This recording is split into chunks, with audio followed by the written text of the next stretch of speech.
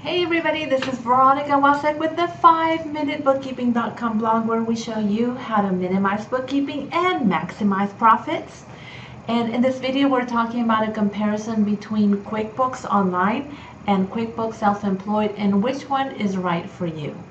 Well, I've written an extensive blog post that you can find at 5minutebookkeeping.com and I'm sharing the link with you below in the description box so go ahead and take a look at that there's an extensive uh, comparison chart that you can download and save for yourself in PDF format.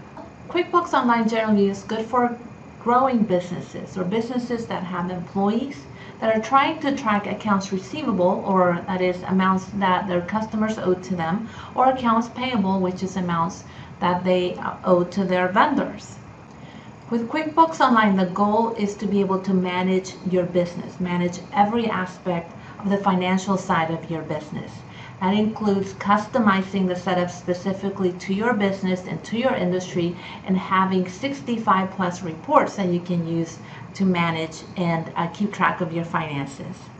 QuickBooks Self-Employed, on the other hand, is great for freelancers, solopreneurs, mompreneurs, creatives, uh, Uber drivers. So if you work for yourself, you plan to not have any employees, then QuickBooks Self-Employed is a great fit for you.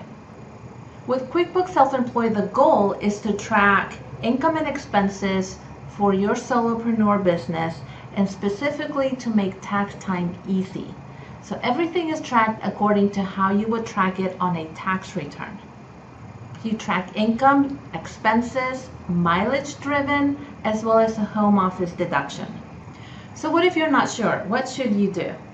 So if you plan to stay a freelancer, a solopreneur, or an independent and have no employees, then I suggest that you get QuickBooks Self-Employed.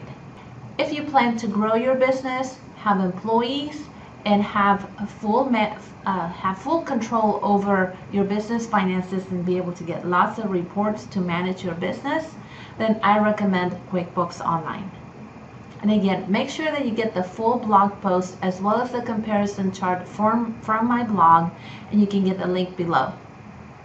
So hopefully now you have some really good information for being able to make that decision.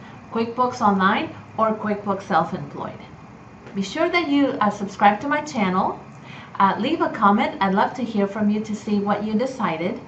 And as always, visit my blog at 5minutebookkeeping.com.